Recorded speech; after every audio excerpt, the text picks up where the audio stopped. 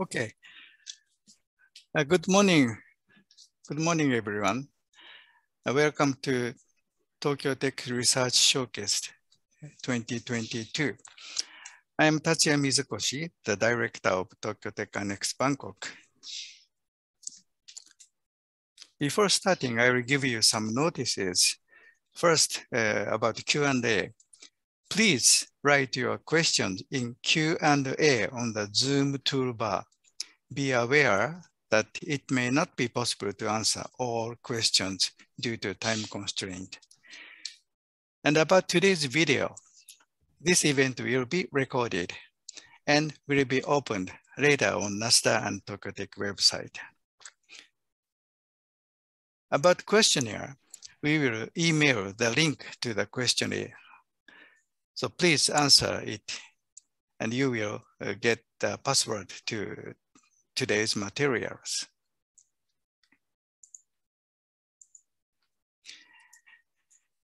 And Tokyo Tech Research Showcase is organized by Tokyo Tech Annex Bangkok, co-sponsored by Tokyo Tech and NSTDA, and supported by Tokyo Tech Alumni Association Thailand.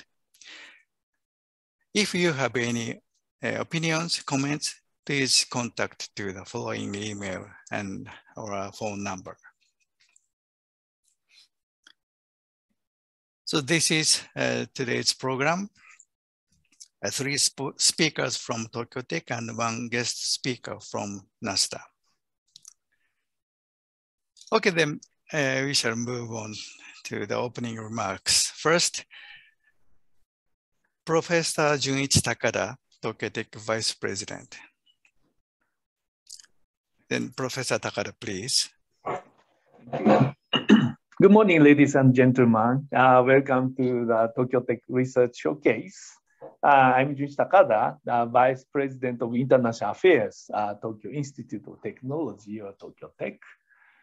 And uh, this is uh, the fourth research showcase. And uh, this is organized at the annual event. So it's already the fourth year to have this event. But uh, due to the restriction under the COVID pandemic uh, for these two years, uh, we are not able to travel between Thailand and Japan. But uh, this showcase uh, is organized via online and we appreciate for your participation. And even under this such difficult situation, uh, we try to promote the cooperation uh, between Tokyo Tech and NSTDA and to contribute to the progress of science and technology. Uh, we are running Tokyo Tech uh, master program for 15 years uh, in cooperation with NSTDA and top universities in Thailand to produce the advanced researchers and engineers. And in cooperation with these programs, uh, since last year, we have organized two uh, mini workshops uh, covering those fields. And also, the researchers of Tokyo Tech and NSTDA are preparing for the application to the East Asia Joint Research Project, eAsia JSP. Eastern Economic Corridor of Innovation, uh, EECI, uh, is promoted by Thai government as an innovation hub. And uh, Tokyo Tech is uh, very strong in the research field covered by uh, in particular the ARIPOLIS uh, project, I mean the automation, robotics, and intelligent systems platform. Therefore, uh, we have chosen the topic uh, of this uh, showcase as the automation, robotics, and intelligent systems, uh, which is identical to the field of ARIPOLIS. And uh, uh, we'd like to contribute to this showcase for, to these fields. And we invited three speakers uh, in, in, Tokyo Tech. Uh, they are all from the Academy for Super Smart Society uh, dealing with this field. We also have the guest speaker, Dr. Jarwat, uh, Jartwat, sorry, the pronounce uh, uh, uh, from NSTDA. And we wish this showcase can be an opportunity for the joint research with the Thai industry. And I appreciate for uh, continuing support from uh, NSTDA uh, as a co-sponsor. And uh, I appreciate uh, Dr. Chadamas and colleagues uh, for this arrangement. And also Thai Kuramae Kai, our Alumni Association of Tokyo Tech in Thailand as the supporter. So I wish this event is a good opportunity for your further collaboration. And thank you very much. Thank you, Professor Takada. Next, uh, Dr. Chadamas Thuvasethakul, uh, NSTDA Executive Vice President. Please go ahead. Uh, thank you, Mr. Gujie-san. Uh, Professor Takada, distinguished speakers, and distinguished participants. Good morning, everyone.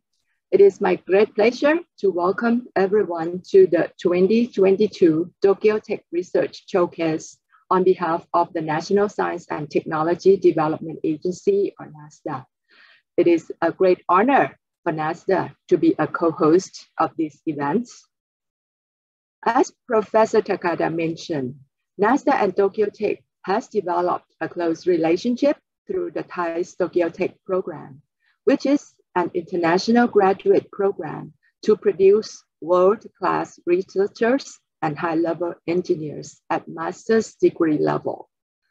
TAIST Tokyo Tech program has been operated for 15 years and has produced more than 450 graduates to work in industry, universities, and government agencies in Thailand.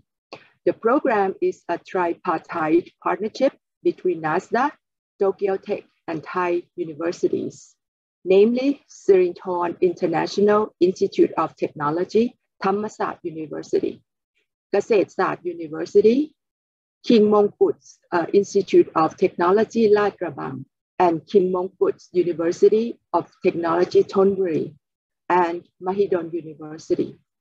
And for the academic year 2022, the National Research Council of Thailand has provided support to our program and will join as a member of the executive board to provide policy guidance and direction of the program going forward. For Thailand, NSTDA realized that embracing research and innovations is critical to uplift the competitiveness of the Thai industry and to grow our economy. And we see that uh, Tokyo Tech Annex would serve as a platform to stimulate research collaboration, utilizing the strength of both Tokyo Tech as an academic institution and NSTDA as a research institute for the benefits of the companies or the industry at large. The Tokyo Tech and NSTDA Research Showcase is one of the activities which Tokyo Tech Annex has organized and NSTDA as a co-host. The purpose is to introduce the research or technology being performed or developed at both institutions or with their partners, those which have high potential to strengthen or enhance the capability of the industry. Today, the topic of the research showcase is automation, robotics, and intelligent system, which is aligned with one of the targeted sectors of technology and innovation in the Eastern Economic Corridor of Innovation, or EECI that Professor Takada mentioned, located at Wangchan Valley, Rayong Province where NSTDA has established EECI ARIPOLIS. ARI stands for Automation, Robotics, and Intelligent System, which is the title of the showcase today. ARIPOLIS aims to promote technology development and technology localization, which corresponds to the need of the private and industrial sectors. Through R&D, testing, demonstration, and intensive training in three focus areas, namely smart and sustainable manufacturing, smart agriculture, and smart living. Presently, the construction of infrastructure of Aripolis, including Smart Manufacturing Center or SMC, alternative battery pilot plants, and connected and autonomous vehicle proving ground is in progress, where the SMC is almost completed. The center will be equipped with all necessary service components to support Thai manufacturing sector in their transformation to Industry 4.0. Alternative battery pilot plant, which will support the development of high performance batteries to strengthen Thailand energy security, will be completed in 2022, followed by the connected and autonomous vehicle or CAV proving ground to be a regulatory sandbox for testing the CAV with the international standards to be completed in 2025. In addition, uh, the establishment of Intelligent Technology for Mobility Center is planning at EECI Aripolis. A number of NSTDA researchers and support staff will start to move into EECI around June this year and we plan for the soft launch uh, later in the year. In this regard, uh, NSTDA would like to work with Tokyo Tech Annex to identify opportunities for collaborative research project between Thai's Tokyo Tech partners and industries that support the development of EECI Aripolis. I hope you will gain lots of knowledge and see the opportunity from today's showcase I look forward to seeing collaborative research and development at EECI in the future. As Professor Takada mentioned that some has already been started and get support through uh, eAsia program. Last but not least, uh, I would like to express uh, our deepest gratitude to our counterpart, Tokyo Tech, for today's research showcase. I wish uh, everyone safe and healthy and hope to see everyone in person uh, sometime soon. Thank you. Thank you very much, Dr. Chadamas.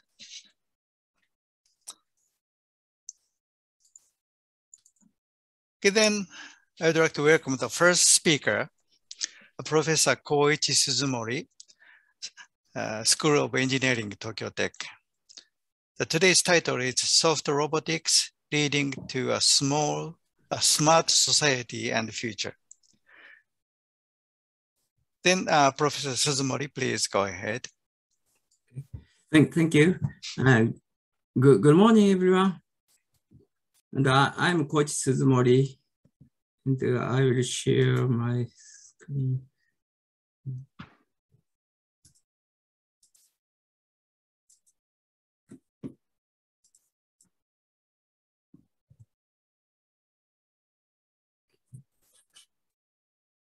Can you see my screen?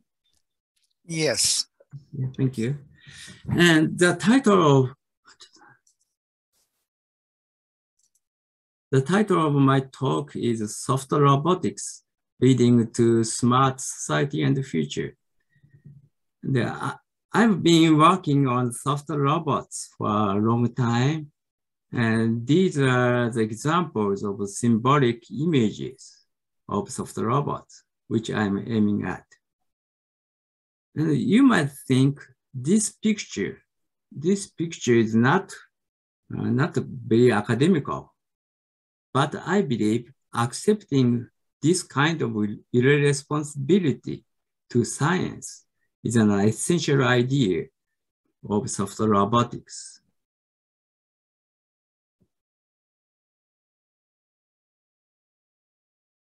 Okay, let me start with what soft robots. Uh, these are examples of soft ro robots which, uh, which were developed in my lab. And uh, as you can see here, soft robots have soft bodies, which realize shape adaptability and uh, gentle handling, for example. This slide shows the background of soft robotics. I believe uh, conventional robotics is based on the values of convention, conventional engineering, that speed, force, accuracy, and certainty. This results in great success in industries, as you know, but I'm afraid a current robots still cannot realize some performances in our daily life, which living creatures can do easily. For example, it's not easy for today's robot to hang a baby with gentle touch. Soft robotics can be said a new robotics based on the values of biological system, such as flexibility, adaptability, and E-Kangen. Uh, E-Kangen is a keyword in my talk, and I will talk later. And many new researches on softness have been born recently in various fields, such as in mechatronics, material science, and computer science. An interesting point is that these technologies are bad technologies from the viewpoint of conventional robotics. Robot arm, which is easily deformed by the external load, is a bad mechanical design in conventional robotics. These materials are fragile and unstable, bad materials. Recent AI returns different answer each time. They can be said a bad technology. However, these technology actually work well. Applying these software, software technology to the robotics will create a new academic discipline, that's software robotics. This is my basic idea on software robotics. I will introduce several software robots using my works. Uh, this is my first software actuator, FMA, Flexible Micro Actuator, developed in 1986. It's made of fiber reinforced rubber and driven pneumatically. It has three internal chambers and uh, okay, it, it has three internal chambers and controlling the pressure in each chamber result in three degrees of freedom of motion, a pitch, yaw, and stretch. It can be used as software manipulators and soft hand. As you can see here, they have shape, adapt shape adaptability and uh, work gently.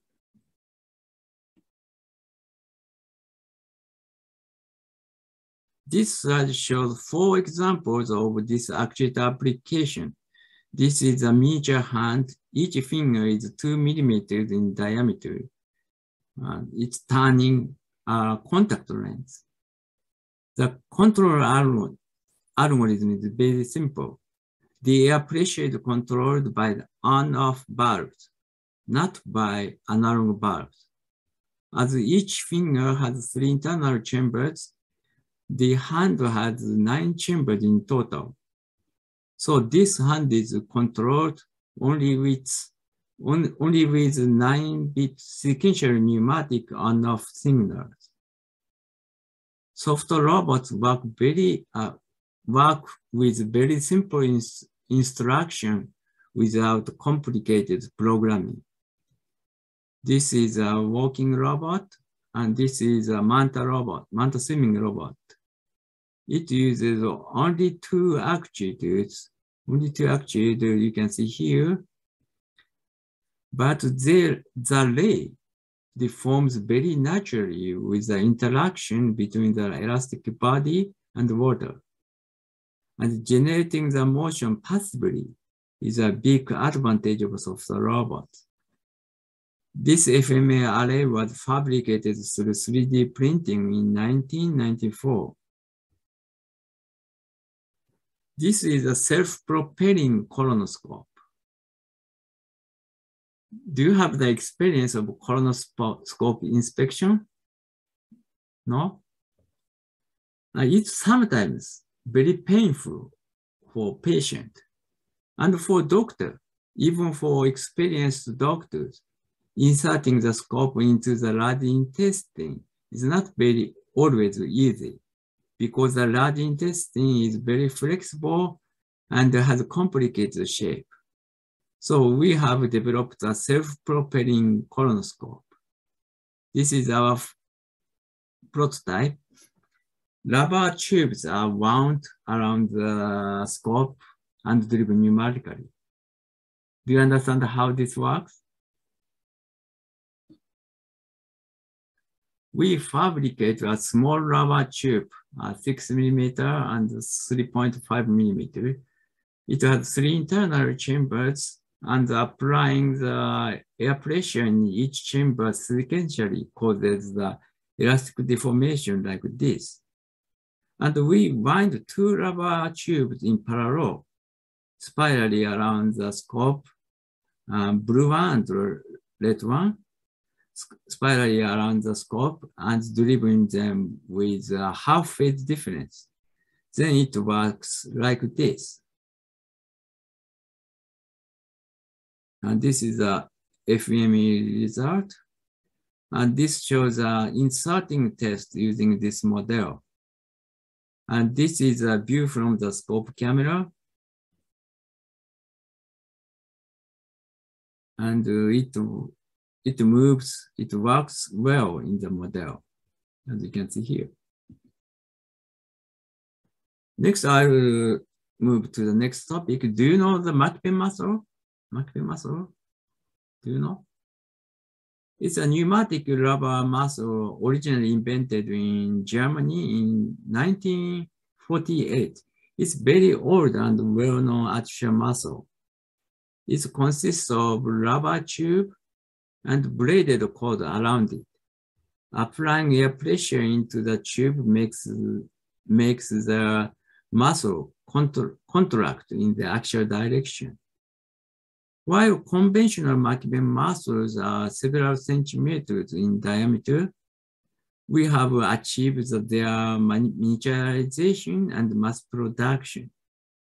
Six years ago, I have established a startup, uh, Tokyo Tech startup venture company named S Muscle, and which has commercialized the thin McKibben muscle to, to five millimeter in diameter. Okay. This video shows the manufacturing process in my work factory. And these are the braiding machines. And you can see the, here the thin rubber tube here.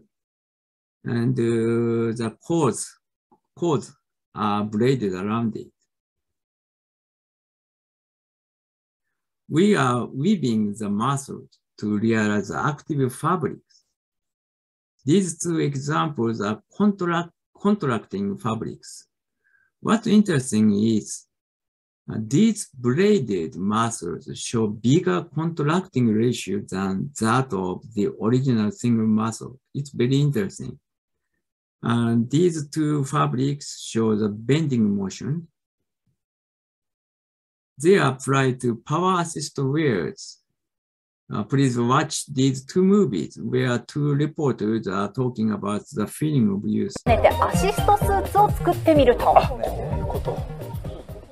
きますこうか。あすごい立ち上がりやすいですよ。あ、そうですか。はいあ肩を持ち上げられる感じかなと思ったんですが、どっちかっていうとお尻を上げられるような感じですね。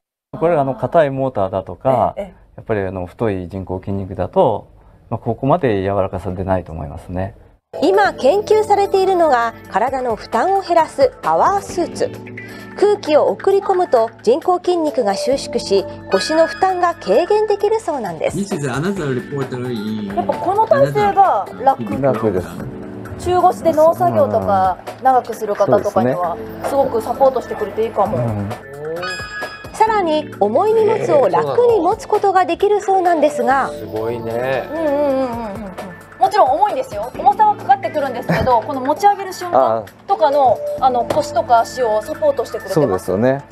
どのくらいの負荷がかかるとか人の大きさだとか筋肉のつき方だとかいろんな条件があるんでそれに合わせてどういうふうにあのこの服を作ったらいいかっていうのをこれからやまだまだまだやっていかなきゃいけないんです。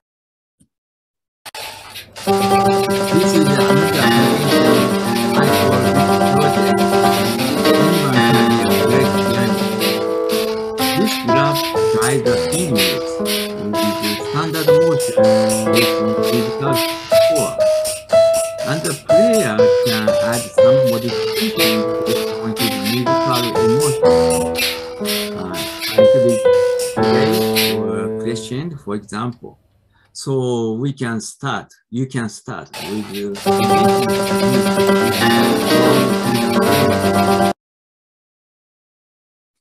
This is an application to muscle to musculoskeletal robot. We imitate the bone and muscle structure based on the human anatomy. What's interesting in this project is a similar structure result in similar properties. This robot shows several kinematic and dynamic properties similar to the human body. This robot has a very redundant mechanism. For example, one leg has six degrees of freedom of motion, but 40 independent muscles are working to drive one leg, a very redundant system. It would be difficult for conventional motors to drive this kind of redundant mechanism because conventional motors are too stiff to work in cooperation but this muscle can do it because of their softness. This is another example, a 20 meter long arm. It has small camera at the tip. This is an image uh, from the camera. This robot is made of helium gas filled balloons. And it, it has 20 joints And this is a camera. And this is a muscle. And uh, this is a, a, control panel. The robot enter, sorry. Uh, the robot enters this roof, roof, roof window to approach the, this, uh, this pipe. This is the image from the camera, and you can see that the pipe. The arm negotiate the roof window to approach the pipe. The, the arm can contact the construction with no damage, and it gets the image from the pipe. We can say the arm can find the approach path by itself after repeating the physical contact with the surroundings. Instruction from the operator is very simple.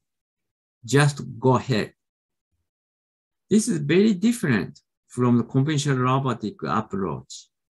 Conventional robotics would use a very stiff and heavy arm and laser rangefinder to recognize the environment and the computer calculates the approach path in a very logical manner. But software robotics work in very loose manner. Okay. Next, uh, I'll talk about the power software robotics. I'm afraid some people might think that software robots ge generate only small force. But I'm afraid this idea is not correct. There are many examples in nature which show both power and flexibility. I believe that softness and power are independent concepts. And I believe we can develop powerful and soft robots. For this purpose, we are developing hydraulic, hydraulic McKibben muscle. The hydraulic muscle generates their force 10 times bigger than uh, pneumatic muscle. For example, this muscle is uh, 15 millimeter in diameter and generate about one ton contracting force. I will show two examples of power soft robot. This is a this is a long arm, seven meter in length, which consists of contracting muscle and extending muscle. Changing the knitting angle of the braid cord result in the two types of muscle and extending and uh, contracting muscle. Combination of these two types generate big moment. This is very similar to the elephant trunk, where some muscle works to support the compressive stress and the other muscle supports the tensile stress to generate a big moment. This is our recent work. We are working with a giraffe anatomist and developing a giraffe robot. Giraffe neck is a typical example in nature, which shows flexibility and power. power. Elephant trunk and giraffe neck gives us many ideas for power soft robotics. Next, I will talk about the Ikagen, Ikagen word. Ikagen is a keyword in soft robot robotics. I believe soft ro robotics is a value changer in robotics. Soft robotics realize shape adaptability, back drivability, passive force control, solid dispersion, gentle touch, and essential safety, and etc. However, these features are bad features from the viewpoint of conventional robotics, which has been seeking for force, speed, and accuracy. For example, robot, robot mechanism, which with low stiffness is generally bad in conventional robotics, while soft robotics accept it and use it to realize gentle works easily. I believe the essential idea of soft robotics is accepting ambiguity and uncertainty and using them to make robots work in appropriate manner. And we have an interesting Japanese word, ikagen. This word has two opposite meaning. One is negative meaning ambiguous, uh, irresponsible, sloppy, unreliable. The other is positive meaning, moderate, adaptive, uh, adaptable, appropriate, and suitable. What's interesting is the idea of ikagen has been existing in nature and industries since before, for example, soft body of weeping, weeping willow shows a toughness and allowing the copy error, copy error of DNA result in the evolution. And by giving the poor positioning accuracy, the robot sometimes work very well. And poor accuracy of eye position result in unique bears. As shown in these examples, I believe Ikagen concept of accepting ambiguity and uncertainty and using them to do in appropriate manner is a very natural idea and uh, can be accepted in the future science and technology. Let me finish with the last slide. Uh, in the background of the, these Ikagen trends, I believe there is a historical meaning. In the past, power, speed, and accuracy have been the most important for human being to survive and to grow the society. But I think these purposes have almost been achieved after agricultural revolution, industrial revolution, and IT revolutions.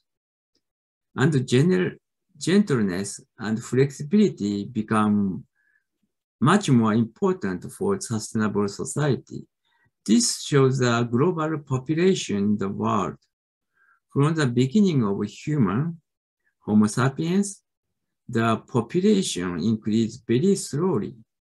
But these, these are these are few hundred years, it suddenly jump, jumped up. I believe we are now at the historical turning point of science and technology. I believe this causes value change from the power and accuracy. And I believe one of the typical new value can be Ikagen. And uh, I believe that soft robotics can be the pioneer creating this new value. Okay, thank you very much for the, your attention. Thank you very much, Professor Suzumori. And uh, yes, uh, at the moment, no questions from audience. Uh, one question from my side.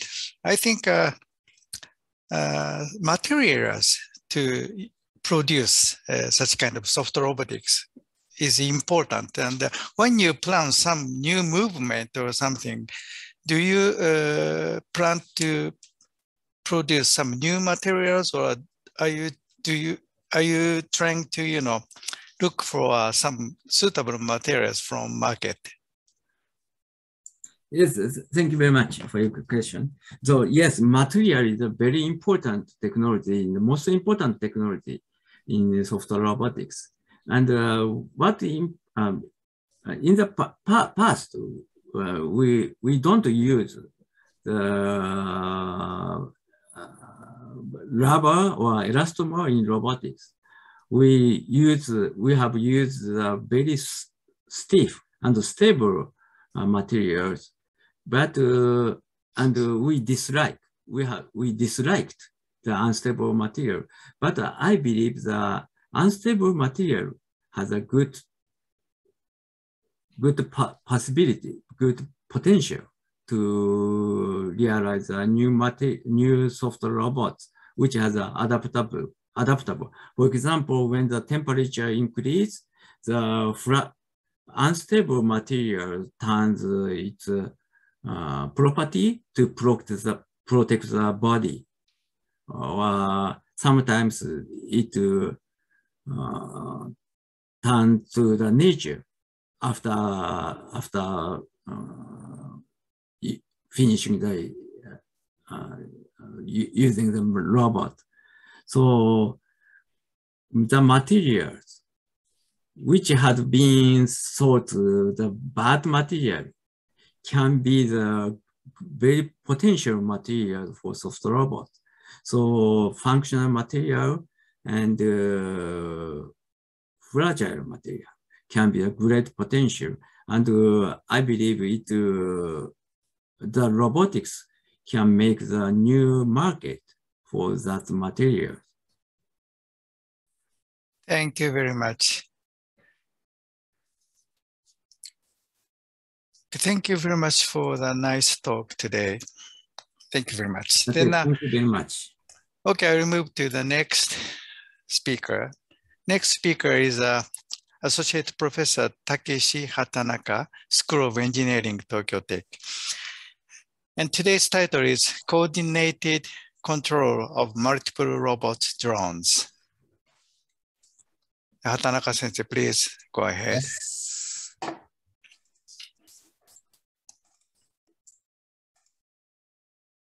Did you see my slide? Yes. Okay. okay. So thank you for the kind introduction. My name is Takeshi Hatanaka a faculty of School of Engineering, and of course, Tokyo Institute of Technology. First of all, I would like to share my own short story about Thailand. I stayed in Thailand for two weeks with my friends about 20 years ago, just after completing my bachelor degree. And then visited Chiang Mai, Pattaya, Ayutthaya, and of course Bangkok. Then we borrowed some elephants, not robotic elephants. Hatanaka sensei, sorry, I cannot hear you. Oh, really?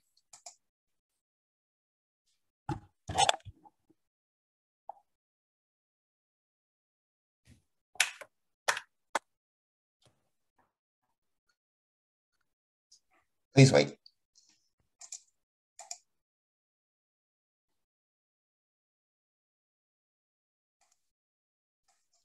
Do you hear me?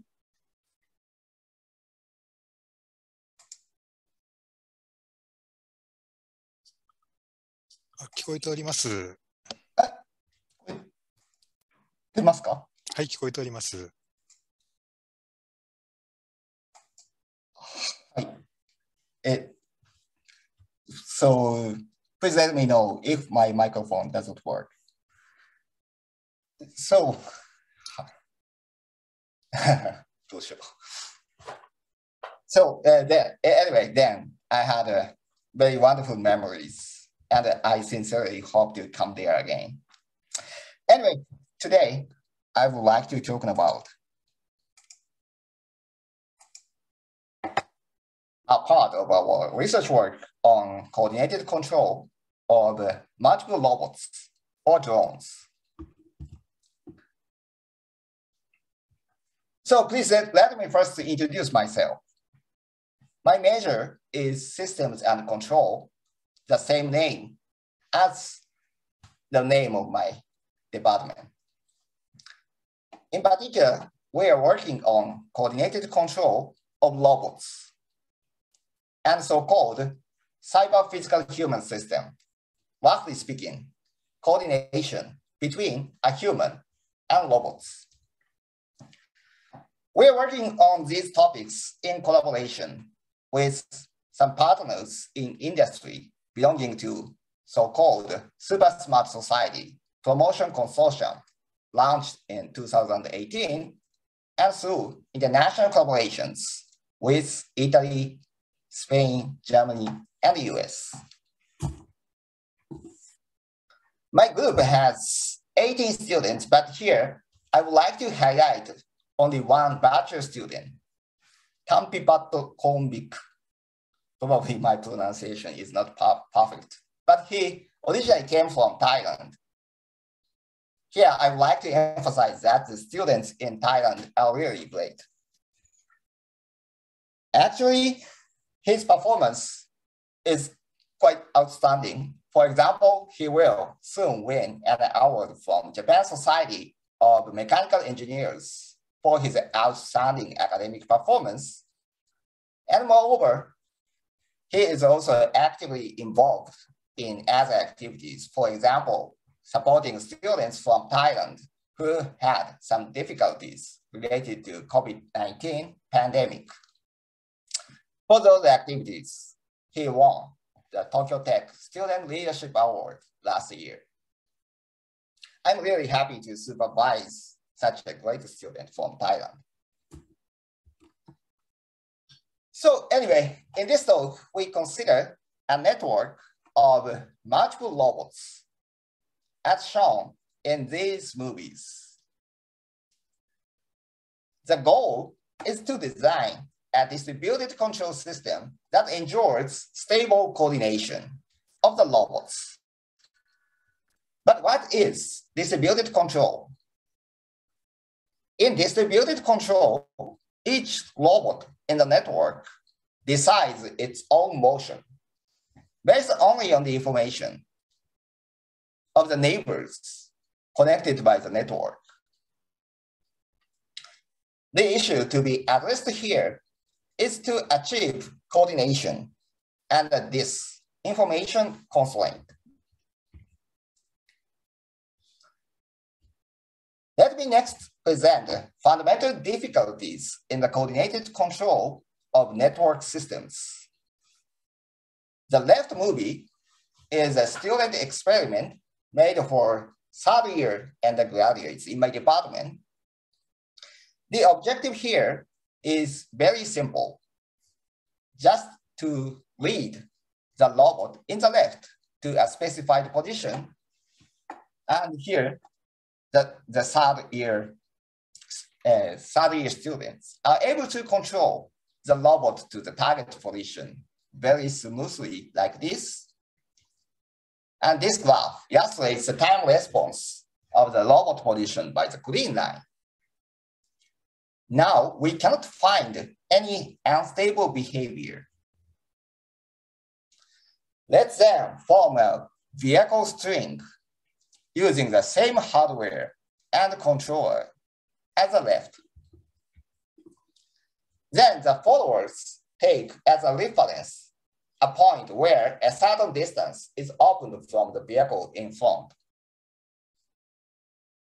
Accordingly, these robots are networked. Then we see that these robots collide with each other.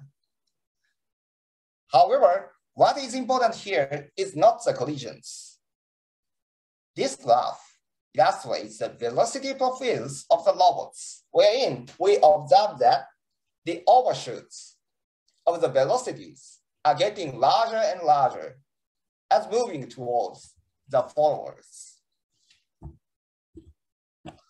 Actually, this phenomenon explains about 70% of the traffic jam in highways. But what is important here is that networking brings instability and that this instability is invisible in control of a single robot.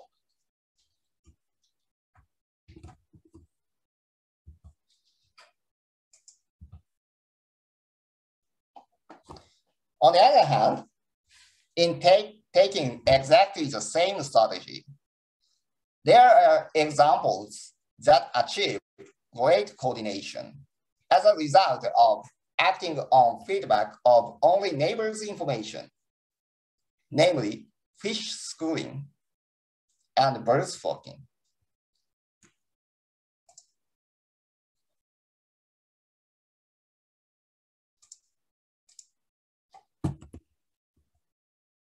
In particular, in the left, the fishes along the top of the group change their velocities to avoid a shark. But the impact of the velocity change does not propagate to the followers differently from the vehicle stream presented in the previous slide.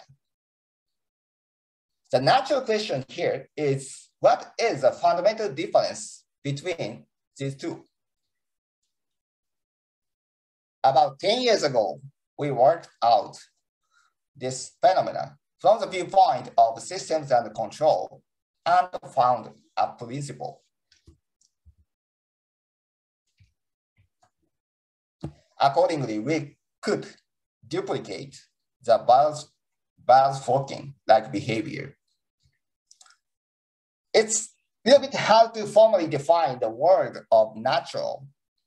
In my personal opinion, the behavior is as natural as birds flocking in the real world. Could you agree with me? Anyway, here we skipped all of the technical details, but uh, if you would be inter interested in the details, please refer to our book. Today, I'm sorry, I don't have much time. So through these basic researches, our group is now trying to tackle social issues. At least at a conceptual level, such coordinated control technology can be a key solution to super smart society because there it is required to coordinate or harmonize huge number of components connected by a network. To promote the work toward super smart society, Tokyo Tech launched a new academy called Tokyo Tech Academy for Super Smart Society, as introduced by Professor Takada in the beginning. And this academy builds a variety of research and education fields on not only robotics, but also mobility, quantum computing and sensing, artificial intelligence, and so on. Among them, I'm in charge of a field called Robot Zoo Sky, which is a robotic experiment platform enabling coordinated control of heterogeneous robots and drones. For example, we can easily implement the control algorithms that coordinate various robots as shown in this movie. The field is working not only for research, but also for education. Actually, we are providing students in the academy and engineers in the companies with the opportunities to learn state-of-the-art control technology. I would like to briefly introduce some experimental movies on the field. The top movie is a demo of so-called formation control.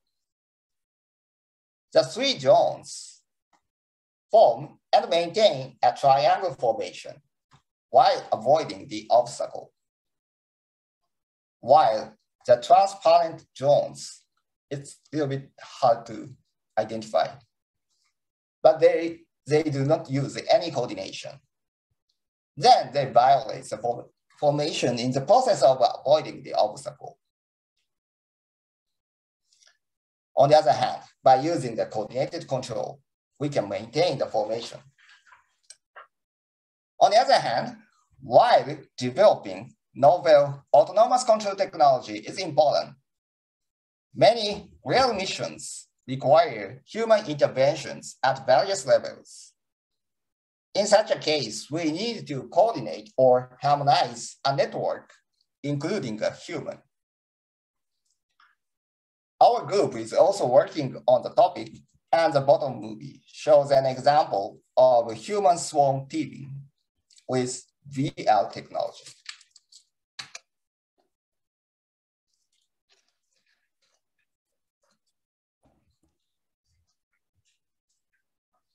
Another typical example of coordinated control is coverage control, whose objective is to deploy robots over the environment in order to optimize information sampling on the environment in the scenario of environmental monitoring. What is interesting in this movie is that the robots autonomously reconfigure the optimal configuration according to the environmental changes like robot failures. The attractive motion is generated by a simple logic of just letting robots track to the centroid of their own territories defined by so-called Voronoi diagram in computer science.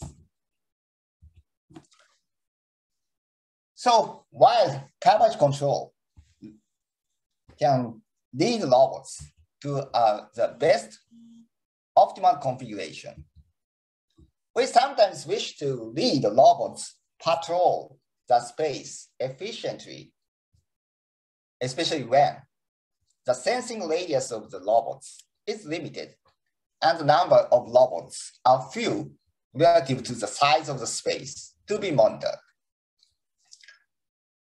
This patrolling motion is also generated by slightly modifying the control algorithm so that the importance on the field is dynamically updated based on the history of the coverage status.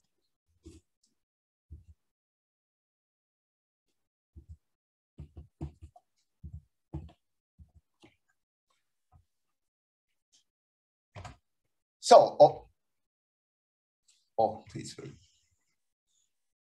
Oh. I'm sorry.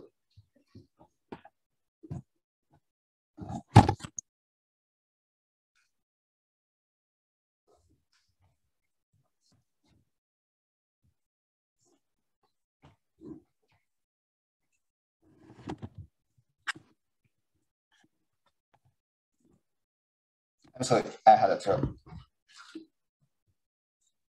And of course, the control algorithm is applied to a network of drones with sensors looking down to the environment.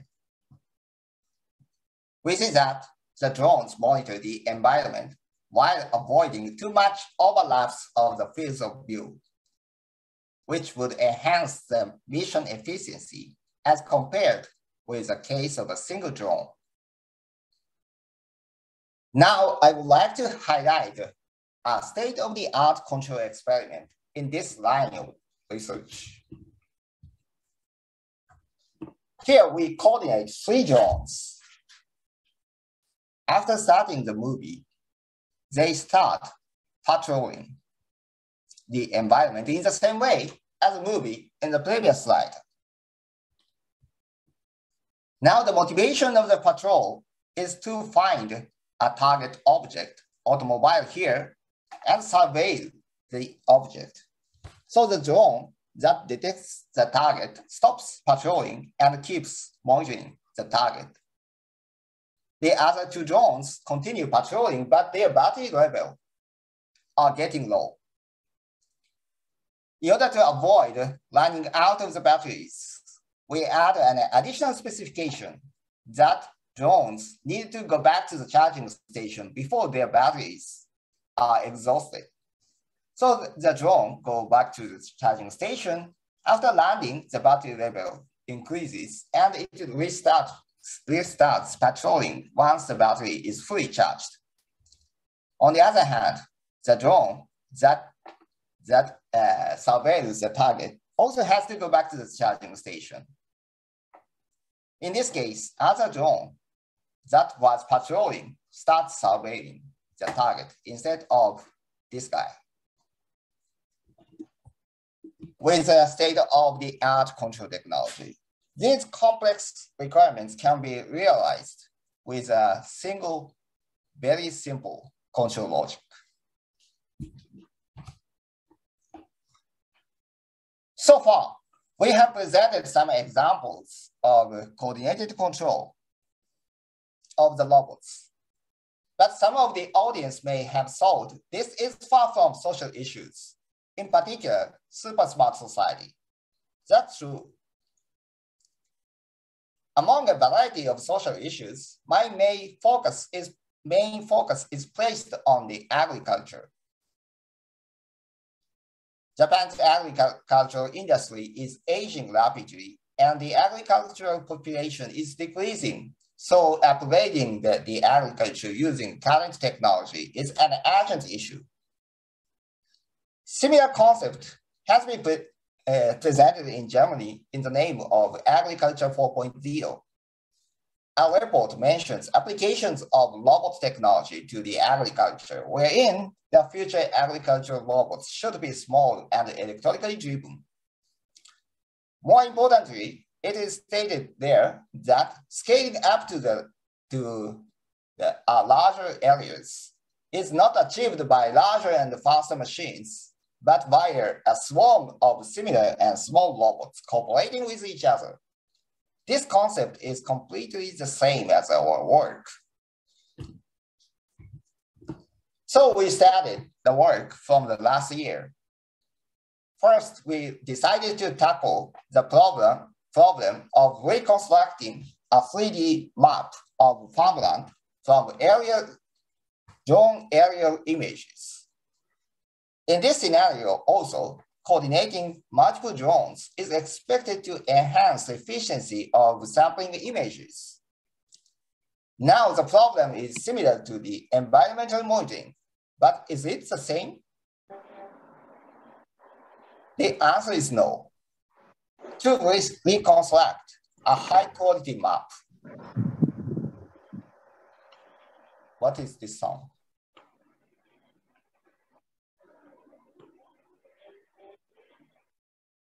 It's okay.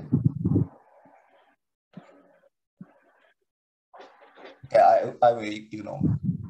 I have to sample images at a point from which viewing angles. So we presented a novel coordinated monitoring methodology termed angle-aware coverage control, and it allows drones to take images from a variety of viewing angles, where the white is the unmonitored region, and the blue is a well-observed region.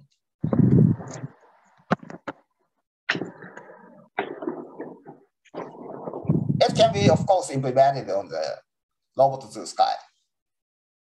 We see that some drones get out of the field to sample images from outside of the field. If the viewing angles are not taken into account, they have no motivation to get out of the field because all points of the field can be monitored in, from inside of the field. We then reconstruct the map of the field from images acquired by the conventional method and the new angle-aware method. We see that the present control method really contributes to enhancing the map quality.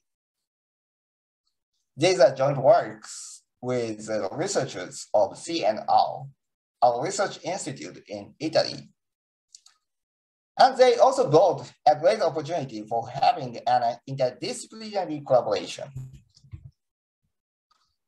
I mean, they introduced some researchers in the field of agriculture in Italy, and we started collaborations with them. They have a technology to construct a heat map of the trees in an apple orchard, and we amplified that the angle-aware coverage is successfully integrated with their technology. Now it is time to embark on the field experiment rather than the lab experiments presented so far. To this end, the aforementioned academy is building a new field on smart agriculture based on the ambitious concept of creating an actual field on the campus and having a multi-drone fly over it.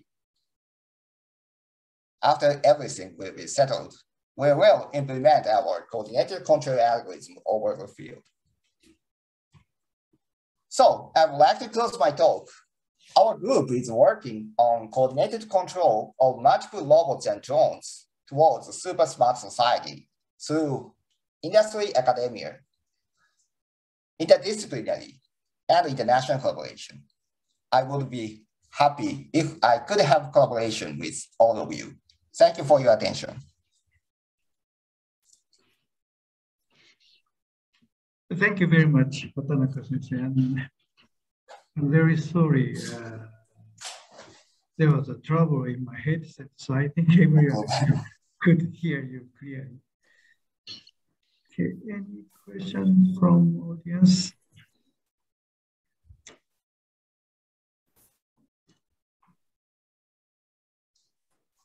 Okay, one question. Uh, apart of drone, could we adapt that algorithm with another application?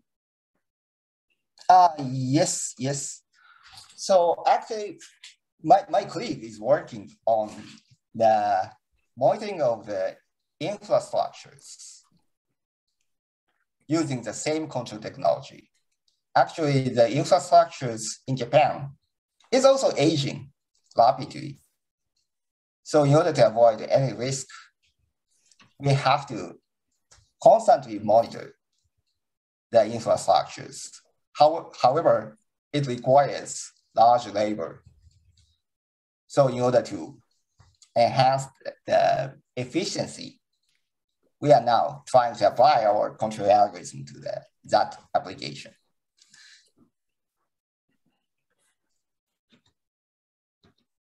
Can it be an answer? Okay. Thank you very much. Another question?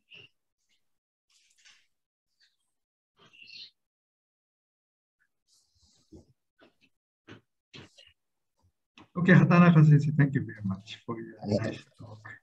Thank you.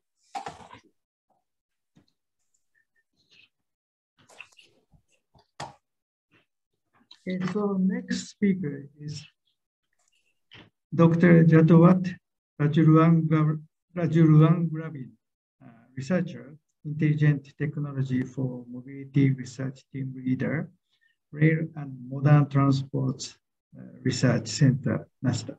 Today's title is localization of autonomous vehicles in Thailand.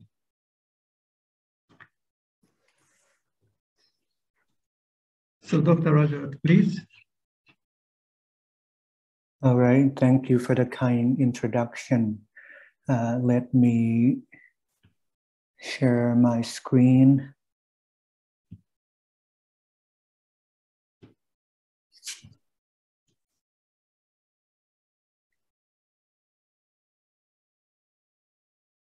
So everyone can see my screen, right? So good morning, ladies and gentlemen. Uh, my name is Jartuwat Rajwang and I'm with uh, uh, Rail and Modern Transport Research Center uh, at NSTDA. So I'm a uh, senior researcher and a, a, research team leader in the intelligent technology for um, mobility research team.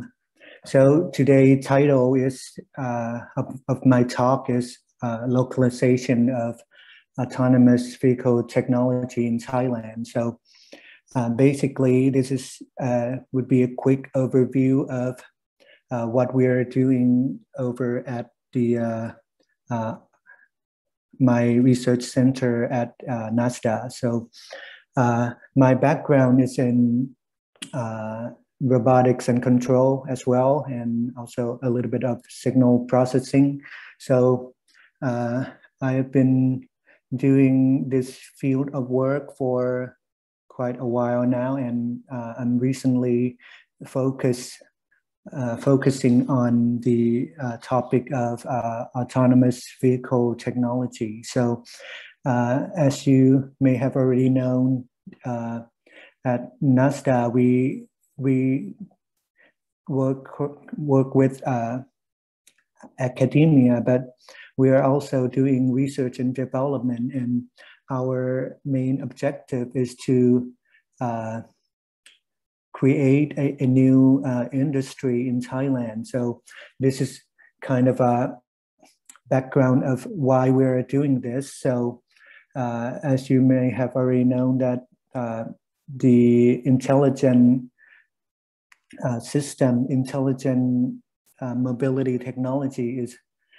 kind of a, an emerging technology everywhere in the world. But in Thailand, we kind of uh, work heavily in uh, automotive industry, and this is the trend that is changing the landscape of automotive industry. So uh, at NSTDA, we we kind of want to uh, create infrastructure, building uh, human resources, and bringing all the uh, policy making and government agencies together to working towards uh, building this uh, new technology, new industry in Thailand. So let me start with uh, kind of a quick to the point that the reason that we are doing this uh, autonomous vehicle technology, as from this slide, you can see that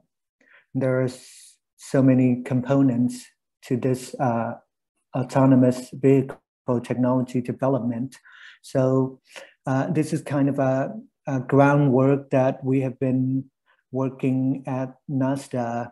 So uh, we can see that there are so many components to, to this and uh, we have component and suppliers. That's the important aspect of developing in uh, intelligent transport technology, mobility technology. So that's one important aspect. And uh, for NSTDA and universities in Thailand, we can we can work together doing the the core technology development of let's say uh, computer vision sensor fusion and ai that can be applied to autonomous vehicle technology development but that's just uh, two components and there are more components to this as i mentioned we kind of uh, work with the uh, the government agencies so that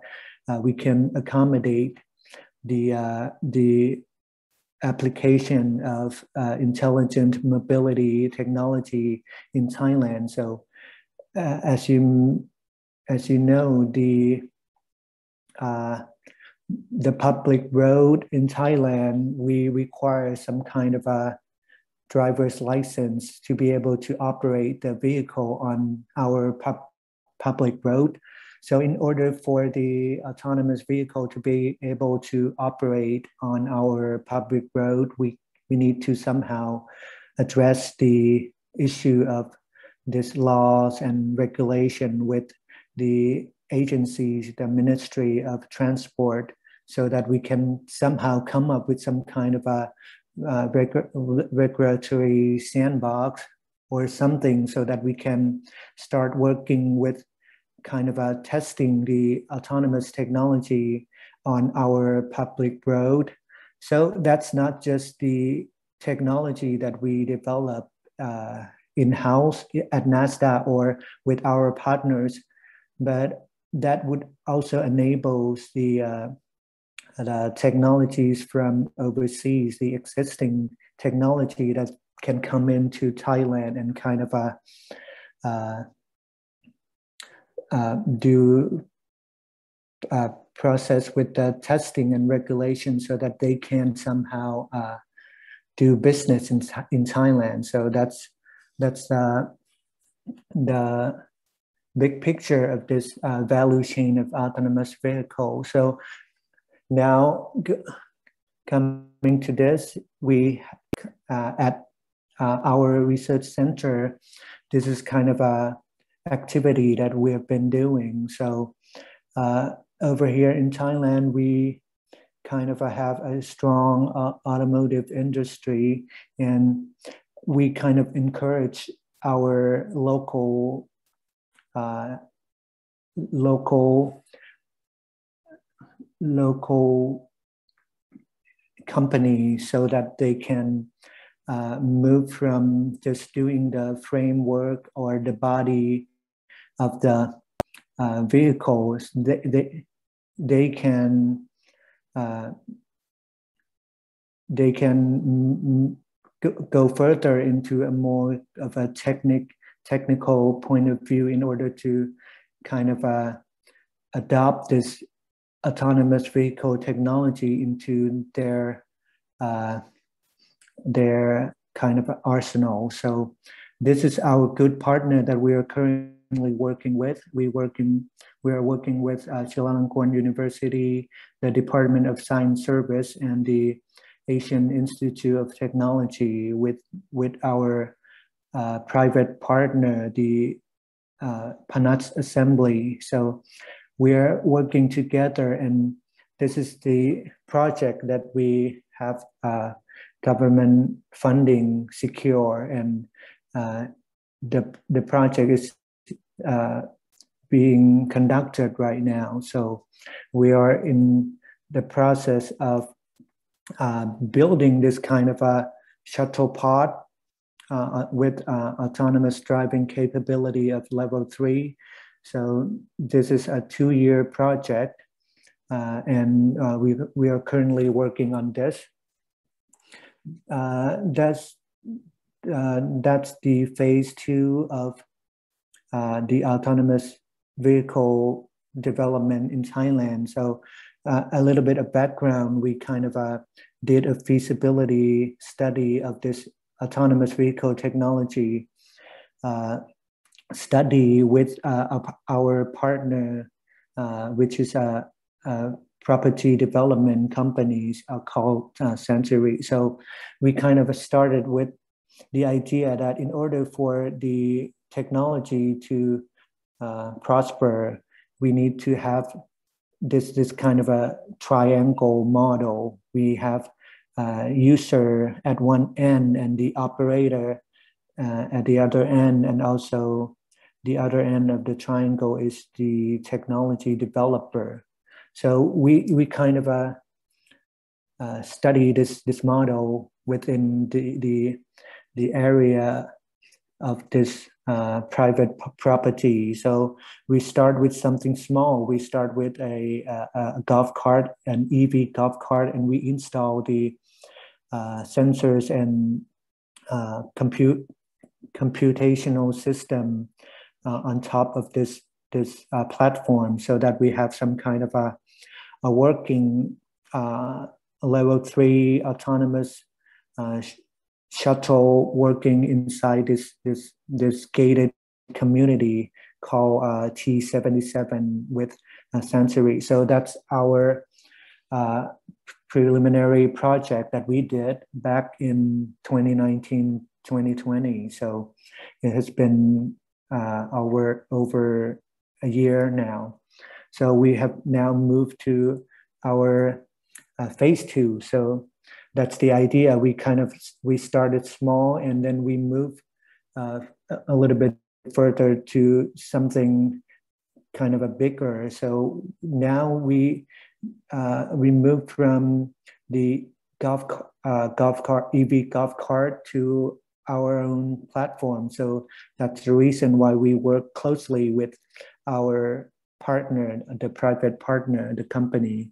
So we are in the process of building this uh, EV platform. And the idea is that we have our own uh, platform we built from ground up and uh, we're going to kind of uh, transfer the autonomous driving technology from that, that previous project, the golf cart project on, on, on top to this, uh, the EV shuttle that we kind of uh, uh, developing right now. So this is kind of a, the, the, the cat of the, the final prototype and uh, we are in the process of building the prototype and it, it, it, it's, it has already completed at about uh, 60 to 70%. So um, maybe after we finish the thing, then I can update with the, the finished product, finished prototype. So uh, the idea is that we will kind of uh, uh, transfer the technology uh, and we kind of uh, make this technology uh, available in Thailand. So uh, it's not that we try to compete with the big auto uh, company in the world, but we can, we see that in order for the uh, autonomous driving technology to be able to uh, adopt that into the context of Thailand uh, road envir- environment, we need some. We need to somehow develop the uh, the technology that that is suitable for the road conditions in Thailand. So, as the uh, government agencies, that kind of uh, our objective to kind of uh, uh, prepare the environment and everything so that uh, once everything is ready, then we can have a uh, this technology uh, apply in on the public roads of Thailand. So that's the idea, and the reason we doing this kind of a uh, shuttle pod, autonomous shuttle pod, and something like this is because that we see that in Thailand, uh, with our current public transportation system,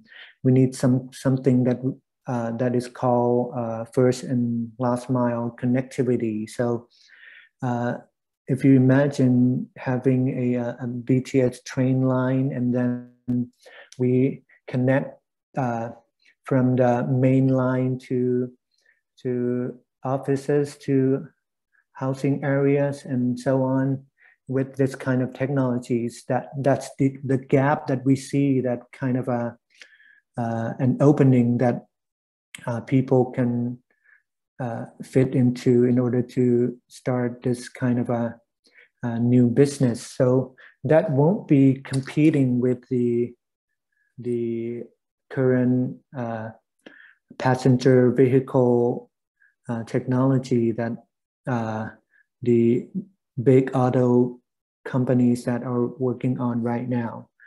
So uh, on this slide, let me show a, a little bit of uh, video from uh, the previous project, the phase one that we did over at the T77 so uh, this autonomous golf cart is uh, working on the uh, the lidar technology. So basically, we work on uh, mapping of the HD map of the area, and then we use real time uh, uh, localization of 3D uh, lidar. So the the golf cart itself knows where it is, and then with the assistance of the G, uh, GPS technology and uh, uh, and signal processing, we have somehow uh, we have some kind of a pre pre-planned trajectory so that uh, it services the area. So this area, this is a gated community. So in, in this area, there are uh, condominiums and also uh, dental hospital and uh, international school.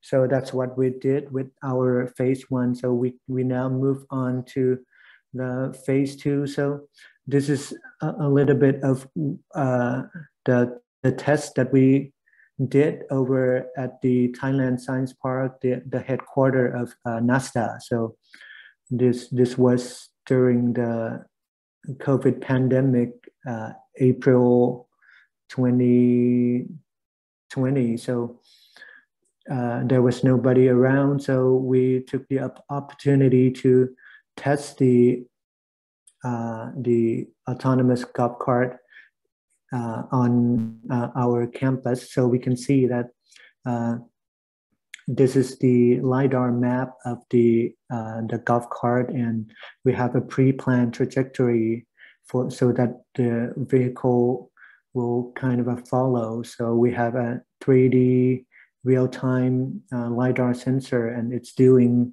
the uh, localization of the autonomous vehicle, and then we have that information that that information fed to the computer, and then the computer does the real-time control of the uh, steering and driving. So uh, let me skip this. And this is another test that we did with the uh, parking lot scenario. So uh, the important thing about this uh, autonomous driving technology development is that we, uh, as the NSTDA, we have this uh, EECI area that we kind of uh, develop and uh, so within this area, the main focus would be the uh, autom automatic and uh, robotics and automation. So uh, one one of the fields is also the modern transport uh, ecosystem. So this is the kind of uh, projected uh, activities that will be conducted over at EECI campus. So uh, with this uh, autonomous vehicle technology that we are working on, it would be very crucial that we have some kind of a, a sandbox so that we can uh, test the system with within the real world scenario. So this is what we kind of uh, envision that uh, the EECI will be a living lab for the autonomous vehicle uh, testing. So uh, this is the map of the EECI campus, and we kind of have a plan that we're going to be servicing this this uh, yellow route uh, here in this ECI, we will be uh, testing the the our autonomous uh, shuttle, the, the phase two that I mentioned. So this is the uh, the vision that we have with the EECI Living Lab. Uh, and apart from the physical testing with the autonomous system, we kind of uh, uh, have a, a collaborative uh, project going on right now with uh, Taiwan uh, NAR Labs. So uh, we kind of are working on the the computer simulation of autonomous driving technology and autonomous dr driving testing. So uh, we kind of uh, have uh, building proving ground built at the our EECI campus by this is by Department of Science Service. So it will be able to uh, perform the testing of the autonomous driving function. So, but as you can see, this is a, a, uh, a limited space and it can uh, do certain number numbers of uh, testing per day. So we can see that it's kind of a very limited. So in order to expand that cap capability, uh, ANASTA, we will be working toward uh, building the um, digital twin simulation of this uh, CAV proving ground. So, so that we can also uh, work on algorithm development of uh, autonomous driving and also testing of the essential uh, autonomous driving scenario within the simulated environment first and so that later we can select certain uh, amount of uh, critical scenarios to be tested on the physical proving ground. So that's the uh, activity that we are uh, working on right now. So this is kind of a vision that uh, we have. So uh, we are working on this pilot project of uh, autonomous uh, shuttle development, autonomous driving technology development, and we are also working on building the environment so that uh, the uh, business, the industry that is related to this intelligent mobility can thrive in the future in Thailand. So uh, I guess this is that's it for my uh, presentation. Thank you for your kind attention. Thank you very much, Dr. Jartuwat. And one question from the audience. Uh, for the GPS, does it need to connect with internet? Internet? If well, yes, does it has any problems with delay? Well, the GPS itself does not need the internet connectivity to be able to function. So uh, with the GPS unit, uh, we call it a, a, GNSS, and that's the uh, uh usage utilization of the global uh, satellite system. So the, the, the unit itself is able to provide the uh, with accurate uh, coordinate of the, the real-time reading from, from this unit. So it does not really necessarily needs the internet connectivity to be able to function. But uh, for the internet connectivity, we, we kind of need that for kind of a user interface. So uh, with, for, for example, with the, the, the project with the T77, we have some kind of a mobile application for the users so that they can kind of a, uh, it's, it's, it's like a right healing application, but for that limited space that we are operating, that we operated on. So uh, I guess the, the, the internet connectivity is for some other functionality. And I guess that's another question. Well, do do I have time for this yes. Q&A? Go ahead. Okay. So uh, thank you, Totsapan. He's a student with uh, TAIST Tokyo Tech program. And uh, the question, let's say, number one, I would like to confirm my understanding of the final goal of the autonomous vehicle in phase two, will it be operated on the road sharing with other vehicles. So uh, this is a good question.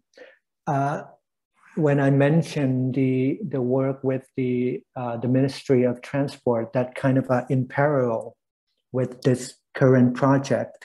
So let's just say that our uh, our final objective, we want to be able to somehow operate the autom- autonomous vehicle on the public road of Thailand. So, but this is this is kind of a pilot project that we uh, working on. So for the time being, it's illegal to operate uh, a vehicle on public road of Thailand without uh, a driver. So that's the reason that we kind of uh, uh, do the living lab sandbox testing over at EECI. That that's the that's that's the idea. So we want to reach the eventual goal of being able to operate autonomous vehicle on public road of Thailand. So that's that's the goal that we are working towards. Uh, uh, I, I, I think I, I answered that question. And number two, I observed that the Wi-Fi is used for the command center in card AV. Is there any problem regarding the interference from other Wi-Fi users and how to overcome such problem? That's also a good question. So Wi-Fi is a, uh, let's say it's a, a, stable infrastructure, but one thing that Wi-Fi is not good at is that it has limited coverage. So for that, we need some, some kind of a cellular, cellular uh, network with 4G and 5G. So uh, I would say that uh, Wi-Fi wouldn't be just the sole uh, network connectivity that we have on this kind of autonomous vehicle. Uh, it would be kind of a complementary with 4G, 5G net uh, cellular capability. And uh, number three, I also observed that the GNSS will be used for the vehicle location in phase two. How do you welcome the satellite blockage problem? This is also a good question.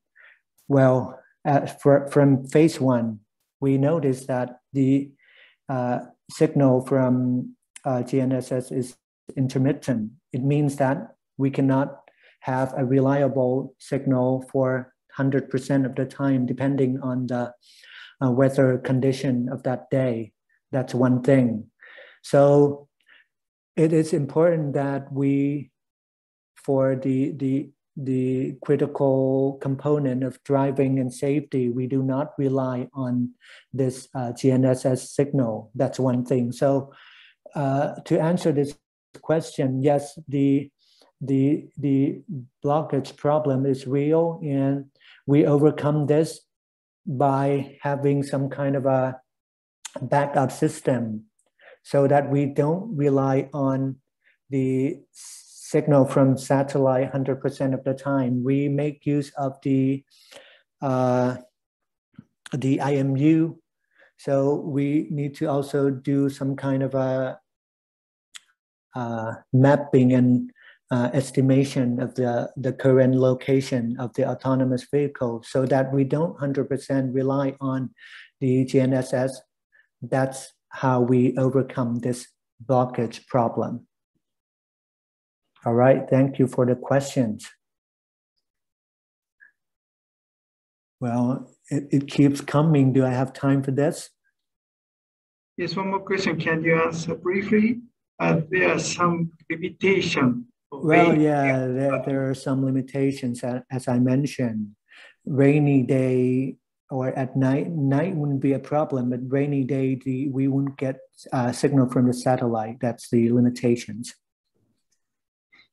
Okay, Dr. Jartuwat, thank you very much for Thank you. Thank you very much. Thanks for having me.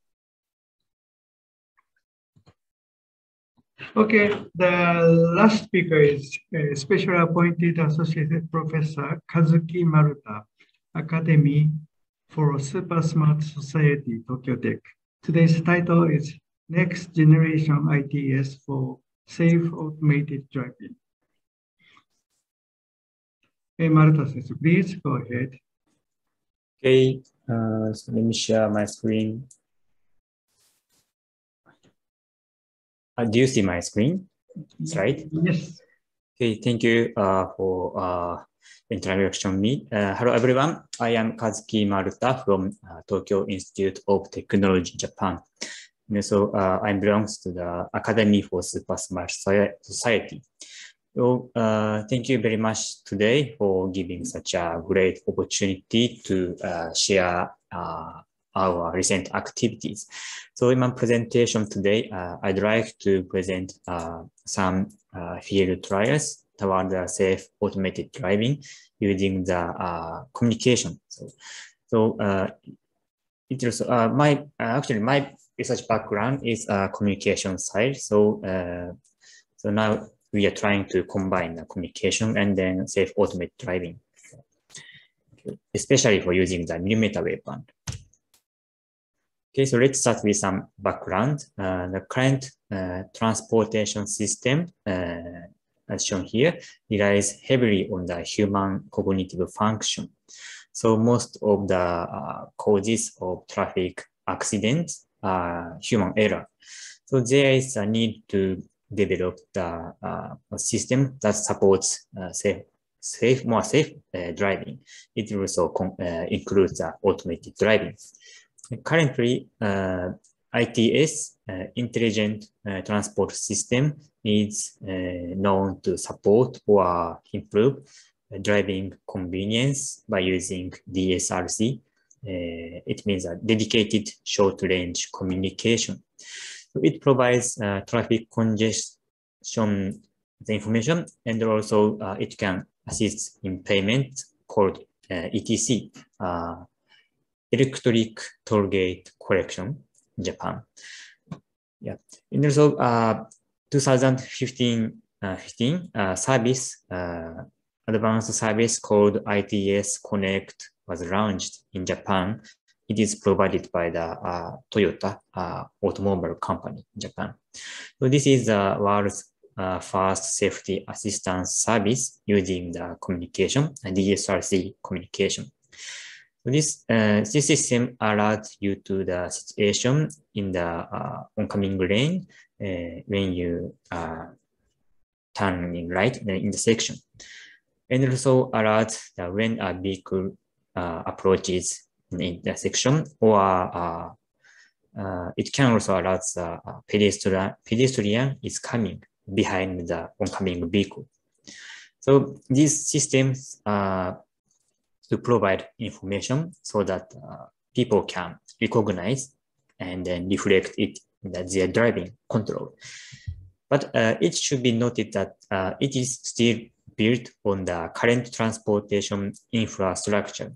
So uh, due to the limitation of human uh, cognitive function, recognition, it is difficult to uh, completely eliminate such traffic accidents. So for further safe driving, uh, we need to consider the drastic uh, reconstruction. Yeah, so it's time to rethink uh, current transportation infrastructure. So, and also uh, in recent years, uh, automated driving has also been positioned as an uh, important topic for realizing, realizing the coming super smart society. So main point of today's uh, presentation is to discuss uh, safer or uh, driving support, uh, so including the automated driving using the uh, advanced uh, sensing and also V2X communication. Yeah. In, the V2X has a so wide sense. It includes ITS, next generation ITS.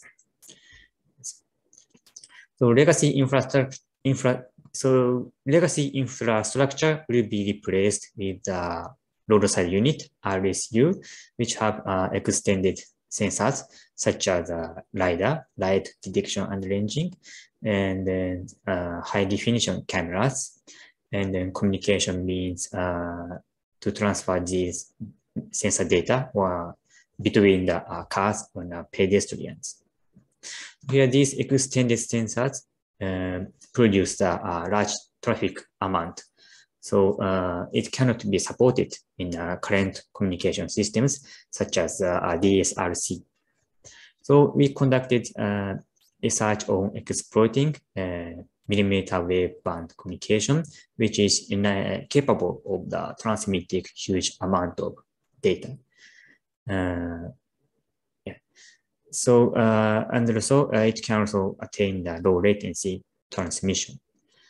Yeah, so millimeter, we, uh, we are thinking uh, it millimeter wave band has a good compatibility compatibility with uh, use cases related to the uh, autom automated driving that realize real-time uh, communication.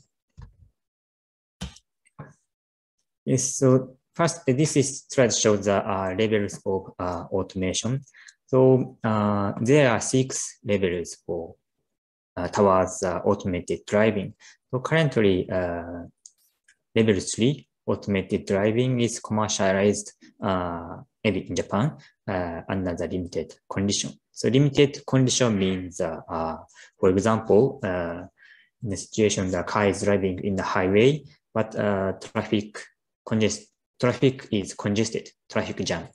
Then uh, vehicle is running at the not so high speed. For example, around 10 kilometer per hour. It's not very slow. In this case, uh, automated driving can be activated. So it is so currently its so uh, condition is very limited. So yeah, so level zero uh, from level zero to level two are uh, categorized as uh, uh, driving assistance, safe uh, safe driving assistance. And also levels from level three to level five is categorized as automated driving. Yes. So now uh, uh, many automobile company or in the worldwide are trying to realize uh, fully automated driving uh, level four or level five. So its demonstration experiment toward level four is now ongoing. Yeah, this is as uh, presented from the uh, previous presentation from the uh, uh, Rajruangrabin sensei. Okay. Oh. Ah, sorry. Okay. So this is the uh, components of automated driving. Basically, it has uh, three components. One is the uh, hardware, uh, and sensor and actuator. Uh, so camera, lidar, uh, radar, lidar. Uh, it acts uh, like a, eye of human. And so CAN controller area network, uh, which connects the say, sensor data to actuator, weight, and the pedals. In software, uh, uh, I introduced this uh, open source software, uh, Robot OS, and also Autoware. Autoware is uh, also open source platform. it is working on the Robot OS. Yes. Then technical components, uh, it's uh, also important uh, part in the automated driving. What is the localization and mapping? So uh, it recognizes what uh, we are. Then path planning and tracking is uh, where to go. And object detection and avoidance is also uh, essential technique to avoid the accident. So uh, this is a uh, basic uh, function to realize automated driving. But uh, to realize more safe uh, automated driving, uh, its function should be more improved. So currently, so these these sensors are mounted on the own vehicle. Then the vehicle can also sensing range for automated driving is limited. So because uh, this sensor is mounted on the own vehicle, so uh, vehicle cannot recognize uh, only the can recognize only that vehicle C. So here we'd like to uh, combine the communication to share the uh, sensor data information. Uh, then, so the vehicle can expand its sensing range. It will contribute to more safe automated driving. Yes. So it is uh, V2X. So uh, towards higher automation, uh, now we are thinking about to combine the communication and automated driving. Vehicle are connected to all of things, uh, vehicles, people, pedestrians, networks to share the information to extend the, uh, how to say, uh, recognize, recognize uh, more wide range. But uh, as I said, uh, these extended sensors uh, requires a higher data rate for communication. For example, uh, camera, uh, uh, for example, uh, high definition ones, 4K, it requires needs uh, 70 megabps. And also LiDAR, um, its spec specification is now uh, improving uh, better and better. And um, currently, so high definition ones, 128 layer sensor, it needs a transmission rate of uh, 160 megabps. So it cannot support, so the current DSRC or V2X communication specification cannot support, cannot support such a high uh, transmission data rate. So um, we are focusing on the uh, to apply the millimeter wave band communication for higher high capacity communication. So what is millimeter wave? So it is definition is uh, basically from uh, frequency band from the 30 gigahertz to 300 gigahertz band. So uh, currently, uh, most of uh, wireless communication systems uses the microwave band uh, around several gigahertz, one or two because this microwave band is uh, very useful to uh, mobility, so it can cover the wide area. So this frequency band are mainly assigned to the uh, traditional cellular systems, 3G, 4G, or wireless LAN, Wi-Fi. So, so nowadays, so there is no more available resources to allocate. So now uh, in the system, uh, the 5G or uh, later, so frequency band are shifting to the higher band. So in the 5G sub-6 around the 4 or 5 gigahertz band, uses here, and then 5G also uh, uses a millimeter wave band. It is uh, 28 gigahertz. And the next generation wireless LAN uh, called WiGig uh, 60 gigahertz band is assigned, which can use the more wide uh, bandwidth. Uh, it can achieve the uh, gigabit gigabit per, sec per second class uh, transmission rate. But uh, challenges using millimeter wave band is, is it's limited uh, coverage. So higher frequency band, uh, its transmission range is reduced, shrinked. So main challenge to use millimeter wave, wave band is uh, how to create the effective its utilization. So we are focusing on the uh, V2X communication to use uh, such millimeter wave band.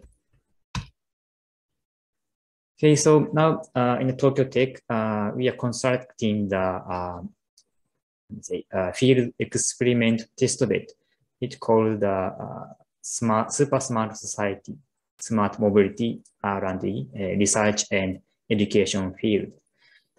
In this field, we are deploying the beyond 5G heterogeneous wireless network.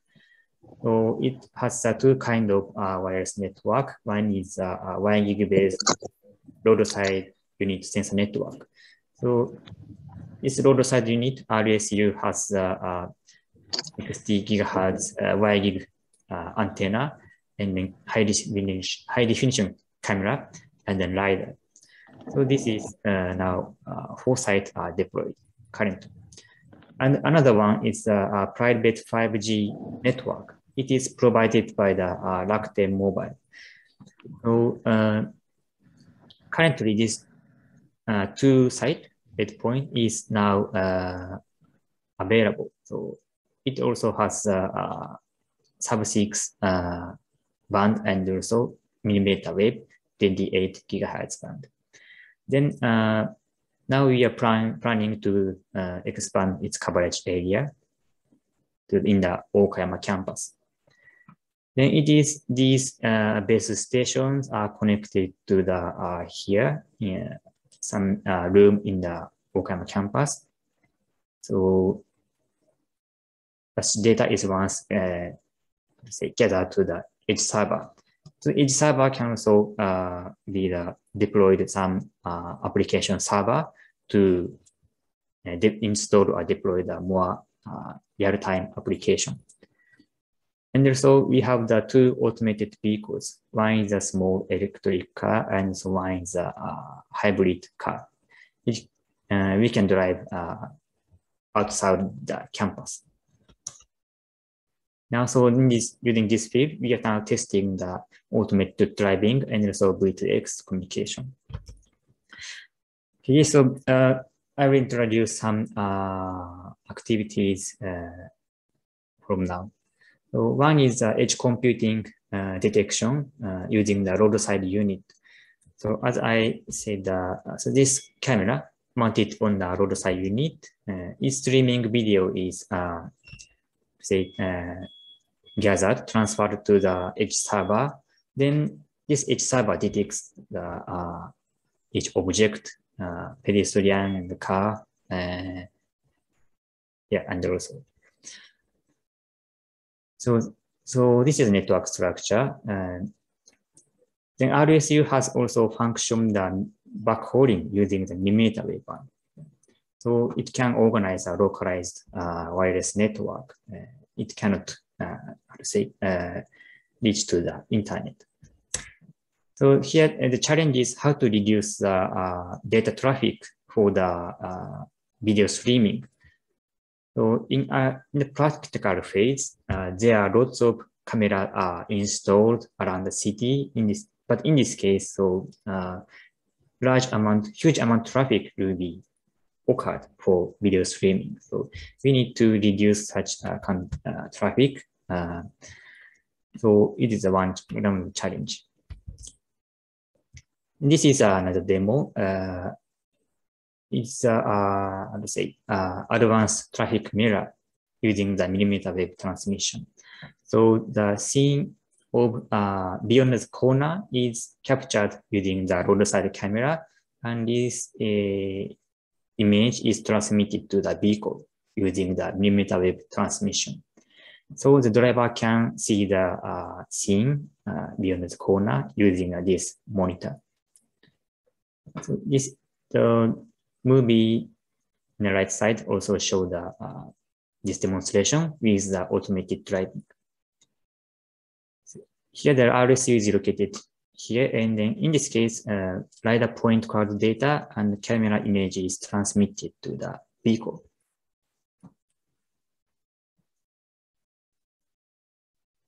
Yeah, it verifies the uh, effectiveness of millimeter wave transmission.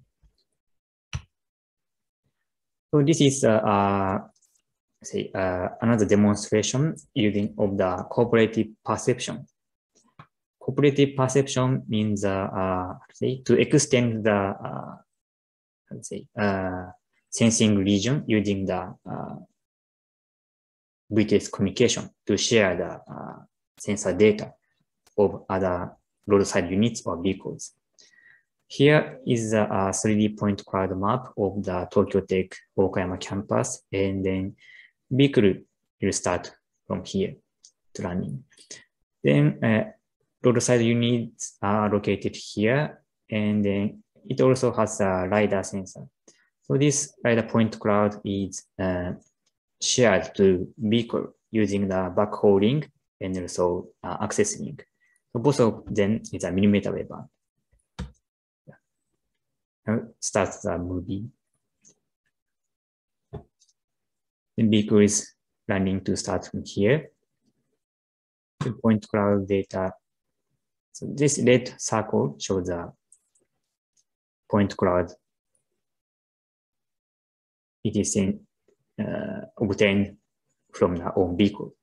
And this green point cloud uh, obtained from the LiDAR uh, RSU are transmitted to the vehicle. So this vehicle can uh, recognize uh, uh, say, uh, what is happening in the beyond the corner, the wide coverage. Uh, yes. This is also the demonstration uh, to see through the uh, corner. It is not automated driving, but uh, safe uh, driving assistance for human. So uh, this is also uh, examples of the sensor fusion of camera and LiDAR. So RSU is located here and seeing the beyond the corner. And then this uh, camera and LiDAR data is transmitted to the vehicle using the millimeter wave communication. Then uh, this vehicle also has a, a, computing unit. Then it uh, combines the uh, uh, camera image and the LiDAR point cloud to make the more realistic uh, vision. It is then transmitted to the AR glasses. So this is also a demonstration from the uh, AR glasses view. So this is the uh, point cloud uh, and then combined with the camera image. And it is then overlaid on the uh, AR glass view. It, it is a little bit difficult to see, but we can maybe you can see that some pedestrians coming here. Yeah, so it's not uh, uh you say so it is because the uh, resolution of LiDAR is not so enough. So we are now uh, thinking about replacing it more high resolution LiDARs. This is also the one uh, demonstration of uh, blind spot visualization for safe driving. This is uh, another demonstration for the uh, next generation uh, intersection traffic systems. So it is uh, indoor experiment using small robots, but uh, we are now planning to do this experiment using the uh, automated driving car. So uh, this concept is to remove the uh, analog traffic lights Sorry. Uh, so intersection is controlled by the uh, some controller. The idea is the first robots uh, transmit the position and the speed information to the control PC. Then this control PC calculates the uh, optimal moving speed, then feedback to them. So the video on the left side uh, shows a, a traditional uh, intersection system using the traffic light. So each robot uh, often stops, it will cause a traffic jam. And the movie in the uh, right side shows a uh, centralized uh, control using the V2 infrastructure, V2I communication. The speed of each robot is uh, controlled in a centralized manner.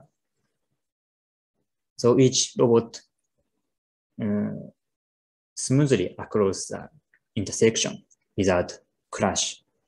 So it will ex expected to improve the uh, efficiency of uh, traffic.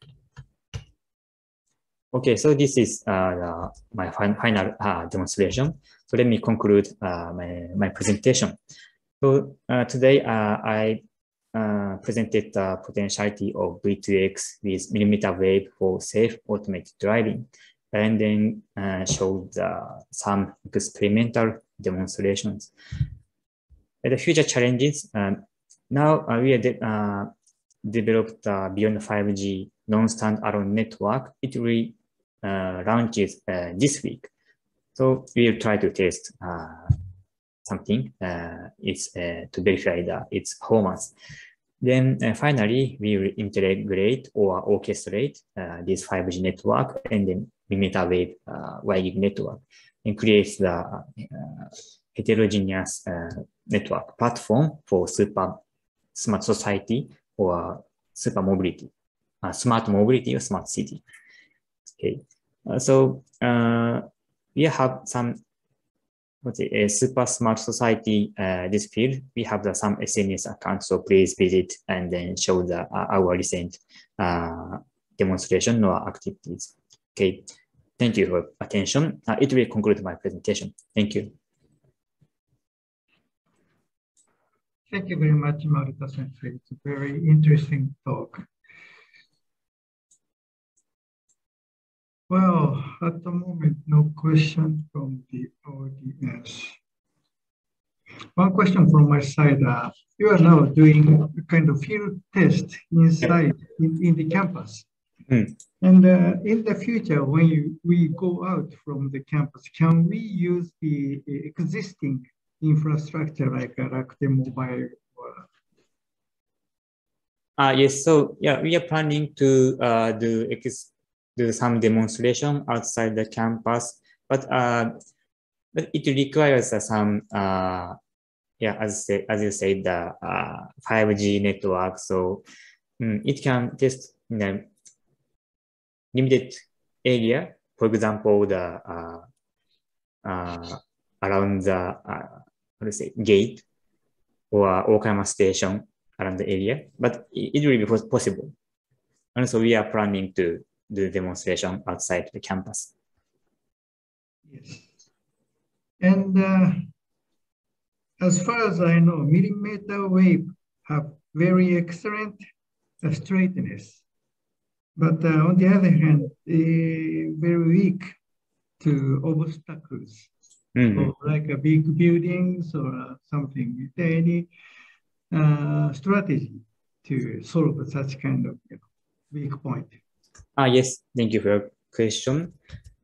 Yeah, as you said, uh, uh, as you know, the uh, millimeter wave is uh, not good for the uh, some uh, obstacles. So we are considering about to say cover the area using the various kinds of wireless communication. So it also includes the 5G or 4G, and then yeah, uh, also Wi-Fi is also uh, can be included to uh, make the heterogeneous network. In this case, so transmission rate is limited. So uh, now also we are considering about so how to manage the data traffic to uh, reduce reduce the traffic amount or uh, make the optimal how to say, uh, traffic route, traffic path. Yes. Okay, one question from the audience. Can this system be applied to use with the uh, virtual impaired? Visual, visually impaired. Visually oh. impaired, sorry. Use with the visually. Uh, I'm not sure about 視覚障害者です。ああ、OK。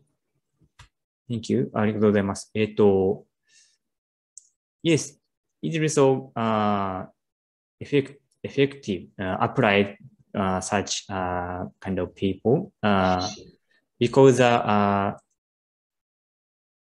if the, this uh, automation is realized by using the uh, BTS communication, so we need to see the uh, how to say, uh, make attention to the outside uh, in visually. So vehicle or system uh, supports all of driving. So yeah, it is also,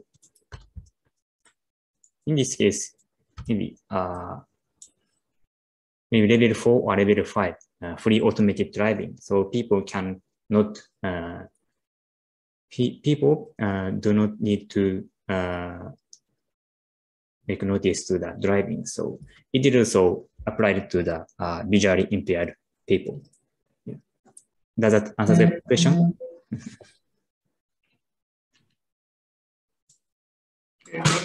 Thank you very much.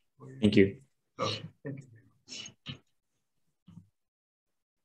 So closing remarks. Uh, first, I'd like to thank all the speakers. So could you show up again? Could you turn on your camera for the speakers?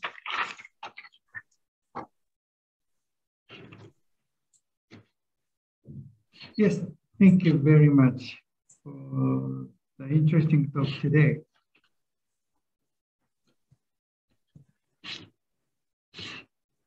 Okay, then uh,